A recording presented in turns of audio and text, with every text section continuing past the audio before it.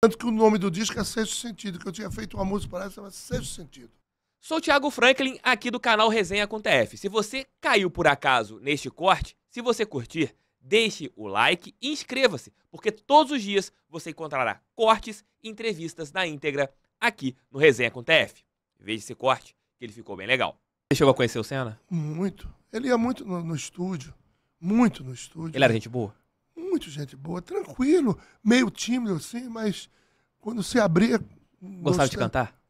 Não, ele não, ele, não, ele não queria cantar, mas ele queria, ele queria cantar, mas tinha vergonha. tinha vergonha. Era aquele que batia o pezinho. Gostaria que, que batia o pezinho. É. Mas ele ia muito nas gravações, porque ele chegava rápido, ele ficava aqui, aí eu ficava com ela há muito tempo, porque ele ficava pouco tempo no Brasil. Eu ficava muito tempo com ela aí nas gravações. Se eu tivesse gravação três, quatro dias seguidos, ele tivesse, ele ia três, quatro dias Caraca, seguidos. que legal. Passa, ficava de, de seis da tarde até seis da manhã se a gente ficasse.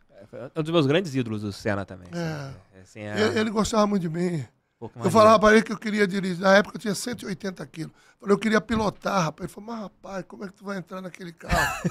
dá um Não jeito dá. aí. Eu falei, eu queria tanto entrar naquele carro. Falei, não, se desse eu deixava você pilotar. Uma pena. Ele ria, pra, ria pra Pô, ele, Mas ele... aquilo ali foi uma tragédia muito grande. Muito triste, né? Imagina a cabeça da Xuxa como que foi naquilo ali, né? Que foi, foi tava difícil. separada dele e acho que o coração era dele, né? Foi difícil. Um, na noite ele, ela falou muito com ele. Na noite anterior, falou por telefone com ele. Você tava perto? Tava. Caraca. Tinha, a gente tinha gravação. Caraca. Gravação, tudo, o tempo todo. Caraca, ela conta essa história, né? Que ela tinha marcado uma conversa com ele, deles é, conversarem. Depois viram... ele vinha pra, casar com ela, falou que ia pedir ela em casamento, ia querer ter um filho. Assim ela falou. Ela ficou uma hora, quase duas horas falando no telefone, parou a gravação.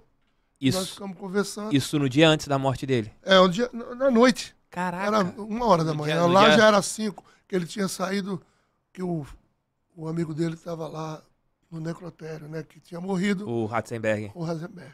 Caraca. E o, o, o, quase, quase que o Rubinho foi também. Sim, o Rubinho foi, foi no dia do aniversário, foi no dia 29 de abril que aconteceu esse acidente do Rubinho. O Ratzenberg morre no dia 30 e o Senna morre no dia 1 É. Bizarro, bizarro, bizarro. E aí ele também estava foi muito difícil aquela noite. Ela parou, não quis mais gravar. Tanto que o nome do disco é Sexto Sentido, que eu tinha feito uma música para ela, chama Sexto Sentido. Caramba. E o, o título desse disco de 94 é Sexto Sentido. Que, ela que eu já tinha aprontado essa música e ela não conseguia gravar. Ela ia botar a voz nessa música nessa noite. Caramba. E aí não botou, e a gente foi empurrando com a barriga, porque ela só botou no final. Foi difícil que ela chorava muito para botar. E ela colocou o disco Sexto Sentido. No nome do disco. Caramba, caramba.